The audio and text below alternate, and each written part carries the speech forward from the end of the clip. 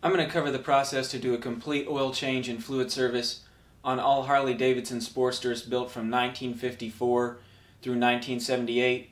For Sportsters built from 1979 through 1985, the process is basically the same, but the engine oil tank and engine oil filter locations may be different.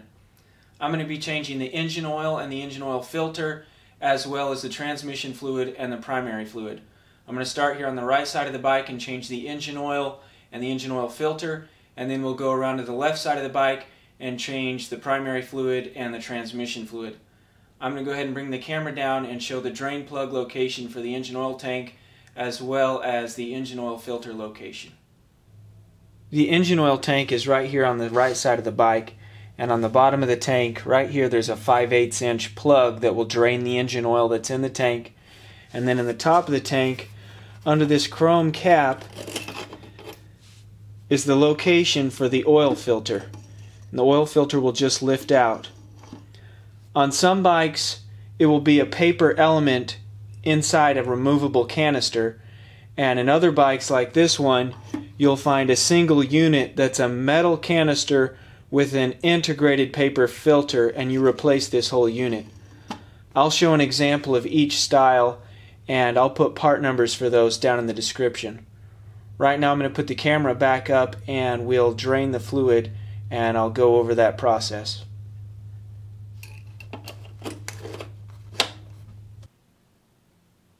We're ready to drain the engine oil tank. You want to make sure you can run the engine for at least 5 minutes before you drain the oil tank. If you can take the bike out for a 15 or 20 minute ride, that's even better, but at least run the engine for 5 minutes.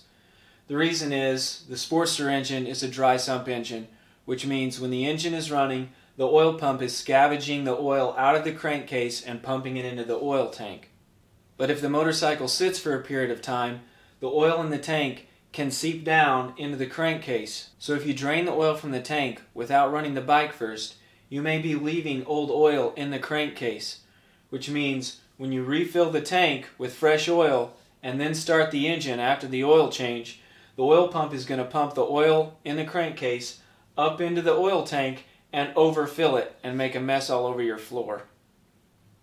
I'm going to go ahead and remove the old oil filter. You want to get some kind of a container to catch the oil filter when you remove it because it's going to be partially full of oil and it'll make a mess.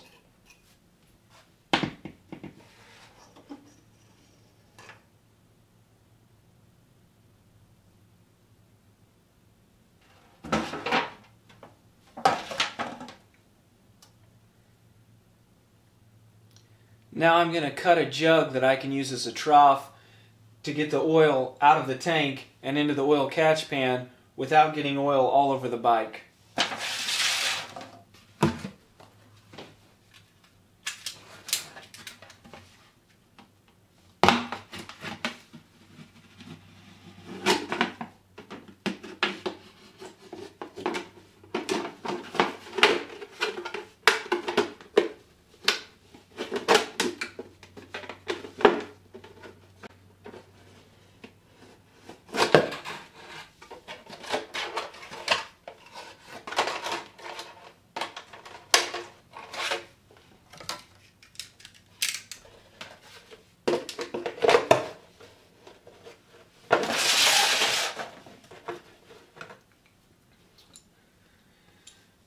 Now I'm going to use a 5 8 inch wrench to remove the oil plug from the bottom of the oil tank.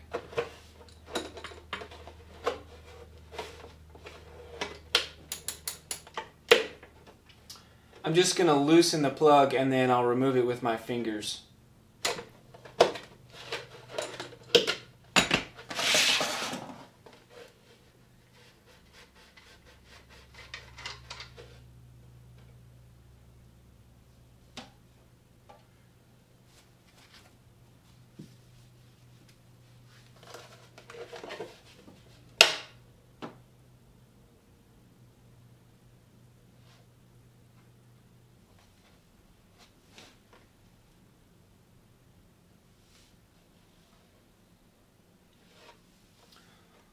Once the oil tank is finished draining, we're going to clean and reinstall the plug with a new copper washer and then we'll fill the tank initially with two quarts of engine oil, and then after we've run the engine, we'll add up to another quart until we get the engine oil tank to the full level.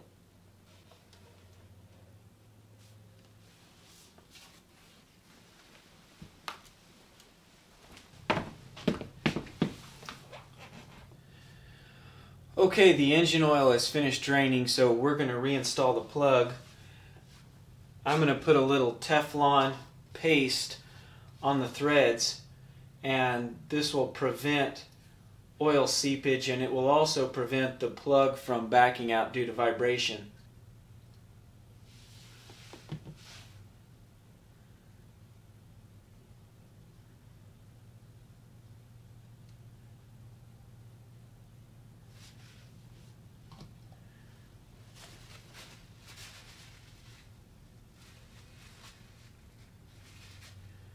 It doesn't take much just to skim coating around the threads.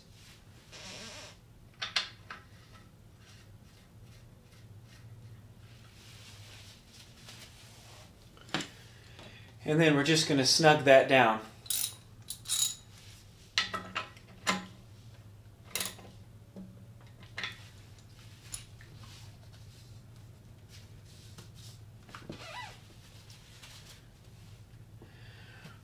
We're going to start by adding two quarts of 20W50 engine oil to the tank. I'm running Mobil 1 20W50 full synthetic and uh, this is specifically formulated for V-twin engines. You'll want to get an oil that specifies that it's formulated for V-twin engines or four-cycle engines or air-cooled engines, something to that extent, to indicate that it has the correct friction modifiers for a motorcycle engine.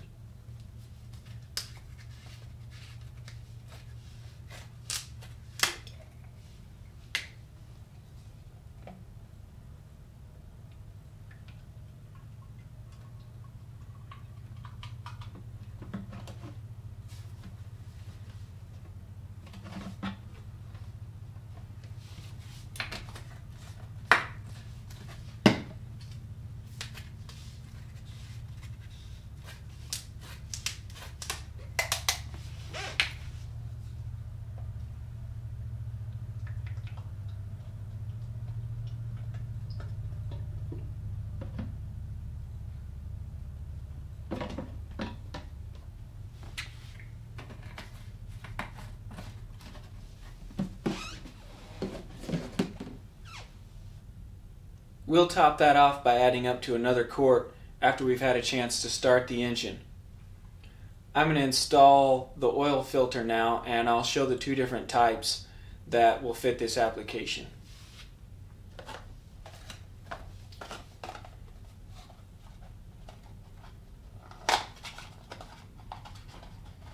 This is the original factory oil filter and it's just a canister that slides down into a container inside the oil tank.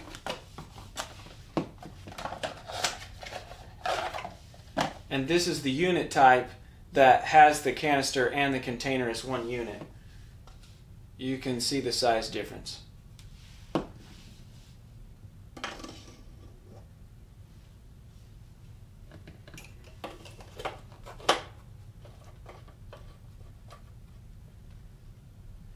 All right, we've changed the engine oil and we've changed the engine oil filter. And now we're going to go around to the other side of the bike and we'll change the transmission fluid and the primary fluid. To locate the drain plug for the transmission and the primary, start at the foot peg on the left side of the bike and then go behind it and underneath. And the drain plug is located right here.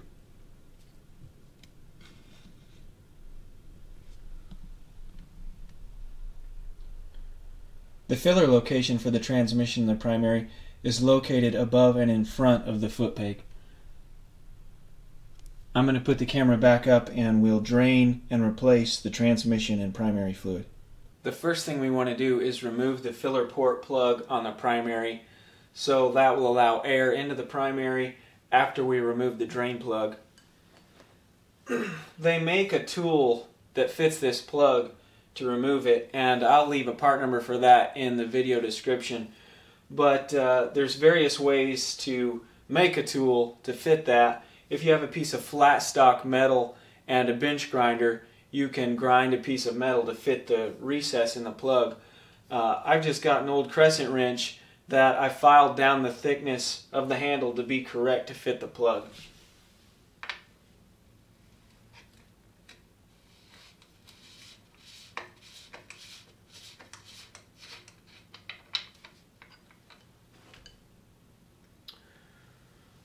With the plug removed, we can go ahead and remove the drain plug from the bottom of the primary and allow it to drain.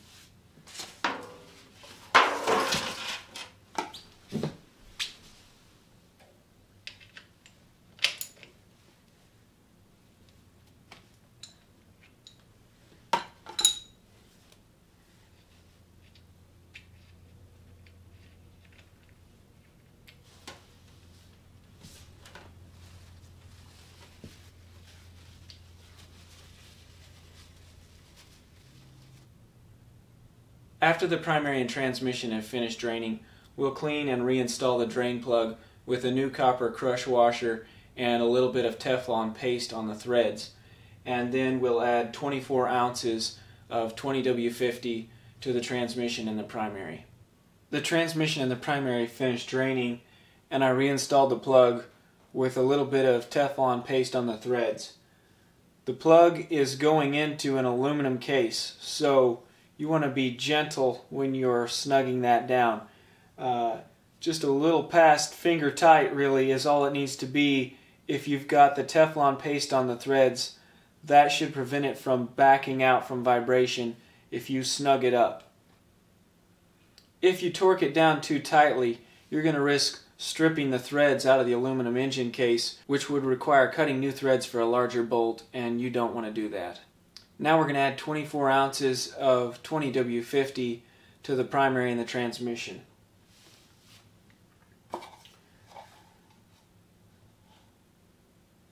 The filler hole is at a challenging angle to add the fluid without making a mess. The best way I've found is uh, if you have a plastic container with a long neck, uh, like an old oil bottle or an old, in this case it's a HEET bottle, uh, gasoline additive bottle, you can cut the side out and then uh, that makes a container with a spout to add the fluid. We're going to be running the same oil that we ran in the engine in the transmission and the primary. For Ironhead Sportsters built before 1977, there's a crossover vent port that allows fluid exchange between the primary and the transmission and the engine. So if you run a different fluid in the primary and transmission, it will actually mix over time with the engine oil. So you don't want to do that.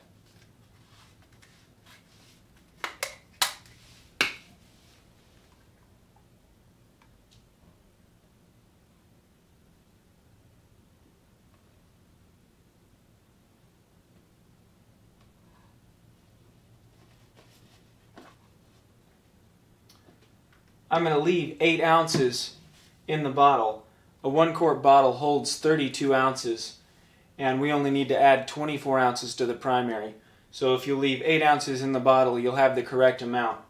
The other option is below the shifter or the brake there is a, an overflow plug and you can remove that plug and if the bike is on center you can just add fluid until it starts to run out that overflow plug.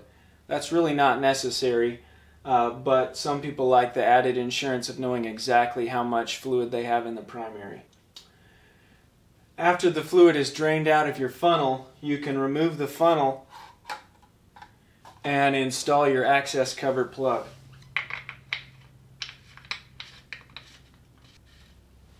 I'll tighten that down with a wrench and then we'll be ready to start the bike and warm it up and recheck the oil level in the engine oil tank. That's all there is to it. Uh, if you have any questions about the process or comments, uh, leave those down in the comment section. And if this information was helpful, leave a like for the video, and we'll catch you next time.